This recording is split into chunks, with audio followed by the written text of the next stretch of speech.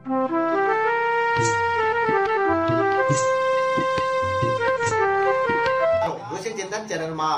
સ્વાગત કરવામાં આવે છે. આજનો વિષય છે સમસ્યાનું સમાધાન ઋષિ ચિંતનથી સમસ્યા. જીવનને દરેક દ્રષ્ટિએ ધન્ય તથા સાર્થક બનાવવા માટે કયા માર્ગે ચાલવું જોઈએ? સમાધાન.